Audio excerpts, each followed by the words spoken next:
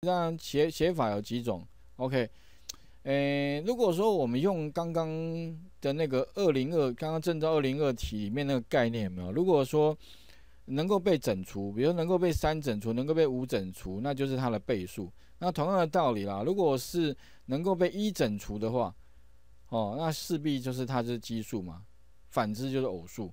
诶，所以如果说我今天呢，假如说用同样的概念，比如说我这一题，我希望把它改一下，一样是一到九十九，可是我希望哦，一三五七九奇数加完之后，帮我输出一个结果。二四六八十到九十八，帮我输出一个结果的话，那我这个程式该如何改写？诶，特别注意哦。如果说我今天哈用那个刚刚的这个百分比符号，好 percent 这个来做啊记这个这个的话哈，那其实特别注意哦，你就势必就是说在回圈里面需要加一个 if 的叙述，所以呢你会发现了哈，以后在回圈里面哈，通常哈会。加上所谓的那个逻辑判断，那有点像是一个输送带啊，一个好像工厂的那个没有一个一个一个产线，然后它就一直跑一直跑，然后反正它就等于是说上面就会有人在那边做判断，哦，到底要放什么放什么放什么，哎，有点类似的概念，啊，只是说你会发现现在工厂慢慢人都不见了，现在也是慢慢改成自动化处理的，甚至。会把 AI 的呃那个概念加进来，也许有里面的话会就影影像辨识等等的哈。好，那这里的话一样的道理，一个回圈，我们里面可以加一个 if 的逻辑判断。如果什么呢？如果 i 这个词，因为呢 i 这个词它会不断变，它会是一二三，根据这个 range 里面给的值啊，一直到九十九。那如果说我今天这个 i 的值啊，假如说呢除以一之后的结果呢？假如能够被能够等于多少？等于等等于多少呢？那记得等号一定要两个啊。等于假设等于零的话呢？好，那表示说呢？哈，哎，如果我哎跟这样，应该是除以多少？除以二吧？哈，跟样，除以一每每个值应该都都不 OK。所以除以二之后呢，如果被整除的话，或者是说除以二之后余余多少？余一的话。那当然哈，我们的解冒号 OK 哈。如果说我今天呢除以二之后的余数为一的话，所以这个叙述是如果除以二之后的余数为一的话，那我给它一个累加的动作 OK 哈。那累加的动作的话呢，基本上就是 sum 哈等于 sum 加 i 了 OK 哈。那可是你会发现哦，这个时候的话，假如说我这输出的话变这个什么？假设这个地方啊，只有奇数的啊，因为余一嘛哈，就奇数。啊，奇数的结果的话呢，那就是这个啦。所以我把那个奇数结果现在直接执行的话，哎，两千五，OK。那可是问题，如果我假设偶数也要的话，那偶数也要的话哈，特别注意哦，那就是要多一个什么 else。反之啊，OK。哎，那反之，如果说呢？呃，除以二之后的余数啊，假如不为零，不为一的话，那应该就为零，就是整除的话，那理论上应该就是跑到那个 else 这边，好，所以有两个通道，一个通道是奇数，一个通道是偶数。可是问题来了，因为我们这个时候 sum 的话，哈，假设只有一个变数，你不能说两边通用啊。假设你这边哈也叫 sum 等于 sum 加，那累加起来你会发现啊，结果哈，哎，会假设了哈。两边都通，那你会发现两边的结果都一样，那一再来就偶数嘛。所以哦，要解决这个问题的话，如果这个这边执行的话，应该是两边都四九五零啊，不对啊，因为你跑这边跟跑这边都加嘛，那最后输出，所以哦，这边的话理论上哦，我们比较好的做法应该是把 sum 哈分成两个，一个叫 sum A 好了，一个叫 sum B。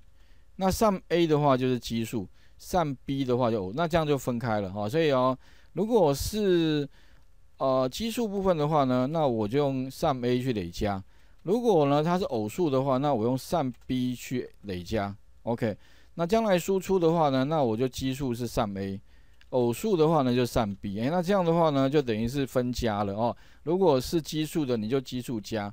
你偶数偶数加，那输出的话呢，变成我就分两个不同的变数，那输出就会各自有各自的结果。我们输出给哎对，你会发现奇数是两千五，偶数的话是二四五零，OK 哈，所以这个地方的话，哎，可以这样来处理。那当然不是唯一一种方法哦，也就是说哈，你将来如果说你写第一个方式哈，OK，那如果说你假设哈，你要说可是我我如果不想要用这种方式来做的话，那我可不可以用别的方法？其实另外还有别的方法哈。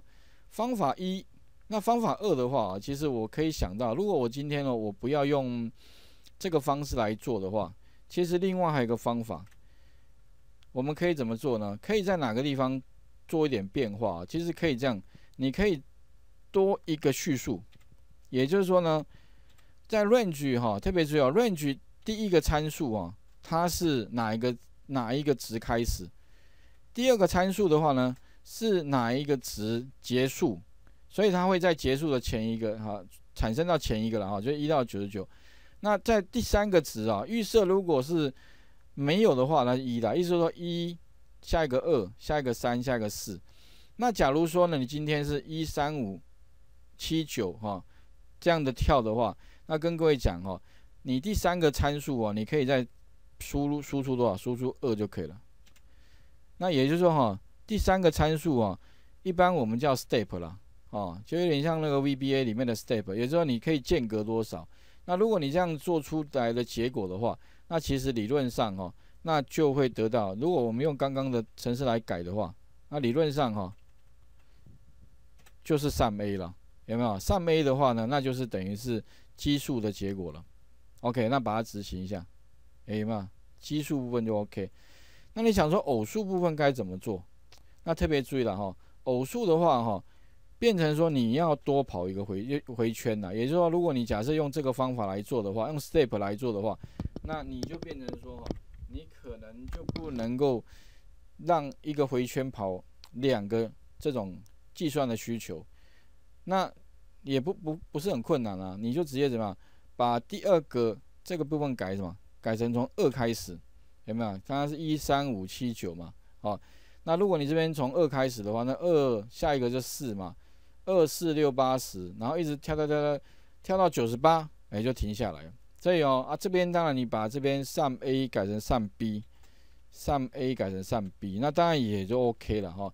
所以呢，方法二就是怎么样，用两个回圈来跑。那至于哪个简单，我是觉得啦哈。当然我刚刚一直强调，我们执行看看，结果应该也 OK 哈，有没有二四五零？所以你会发现，两个方法做出来结果都一样。那至于哪个方法比较 OK，那当然我我是觉得啦，以个人还是自己习惯为优先的啊。如果你觉得方法一，哎，你比较好理解，那你就用方法。但我自己习惯了哦，好像用方法一会感觉会比较简，一般会比较常用是方法一啦。OK 哈，所以请各位先试试看哦，把刚刚的一加到九十九，改一下。啊，那改啊，记得改两个方法啊。方法一的话，哈，就是用那个求余数哈的部分。那我有把那个最后的这个方法结果哈放在云端上，你可以参考那个这个第一页里面。方法一就是用除以二之后的余数啊，一那就是奇数，反之就偶数。那方法二的话呢，就是哈跑两个回圈。好，那请各位试试看哦。